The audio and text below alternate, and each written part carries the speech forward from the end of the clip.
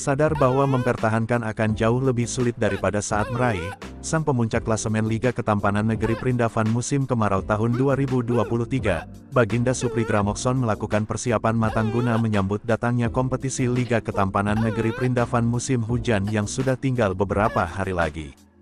Banyak hal dilakukannya demi untuk menjaga agar kadar ketampanannya tak berkurang setetes pun. Selain berolahraga secara rutin dan menjaga kualitas makanan dengan mulai membiasakan diri untuk tidak lagi mengkonsumsi serangga, Supri Gramokson juga rutin melakukan perawatan wajah di sebuah klinik ketampanan terkemuka di negeri Perindavan.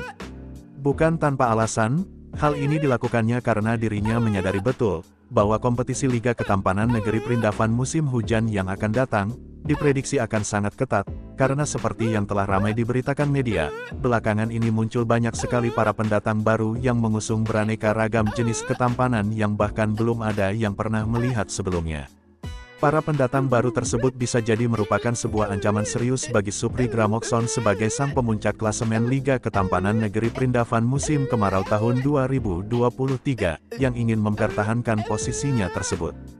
Tak ada cara lain selain dengan tekun merawat wajah secara rutin agar tetap mampu bersaing di papan atas Liga Ketampanan Negeri Perindavan, sebab kita tahu, bahwa para dewan juri dari Lembaga Pengamat Ketampanan Negeri Perindavan, yang akan bertugas memberikan penilaian nantinya, kesemuanya telah memiliki kompetensi di bidangnya masing-masing, dan selain itu, mereka juga telah mengantongi sertifikat uji klinis dari laboratorium di ITP dan IPB.